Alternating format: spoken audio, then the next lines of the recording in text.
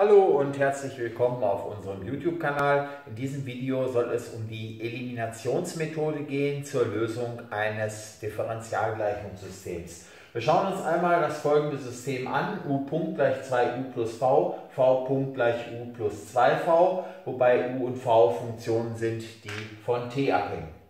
Wenn man jetzt die Eliminationsmethode verwenden will, bedeutet das, dass man zunächst aus diesem Differentialgleichungssystem eine Differentialgleichung macht für eine Funktion, zum Beispiel für u. Das kann man machen, indem man hier folgendes tut. Wir bilden einfach hier bei der ersten Differentialgleichung mal die zweite Ableitung.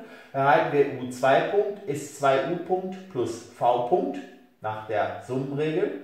Das ist 2u Punkt plus, wir ersetzen jetzt v Punkt durch u plus 2v dann haben wir also hier stehen 2u Punkt plus u plus 2v und das v ersetzen wir mit Hilfe der ersten Differentialgleichung, indem wir diese nach v auflösen. Dann steht hier u minus 2u gleich v. Wir ersetzen also u, äh, v durch u minus 2u. Und jetzt lösen wir das Ganze auf. Dann haben wir u2 Punkt gleich 2u Punkt plus 2u Punkt, das sind 4u Punkt plus u minus 4 mal u, das ist minus 3 mal u, sodass wir die Differentialgleichung zweiter Ordnung erhalten. u2 Punkt minus 4u Punkt plus 3u gleich 0. Die charakteristische Gleichung dafür lautet Lambda Quadrat minus 4 Lambda plus 3 gleich 0. Wir erhalten Lambda gleich 3 oder Lambda gleich 1 als Lösung, sodass wir mit unseren Methoden für die Lösung von gewöhnlichen linearen Differentialgleichungen hier die allgemeine Lösung u von t gleich c1 mal e hoch 3t plus c2 mal e hoch t, einmal t hier, erhalten. So, um jetzt die allgemeine Lösung für v zu bestimmen, müssen wir zunächst die Ableitung bilden, weil wir haben ja hier eine Gleichung, die u Punkt und 2u enthält und v.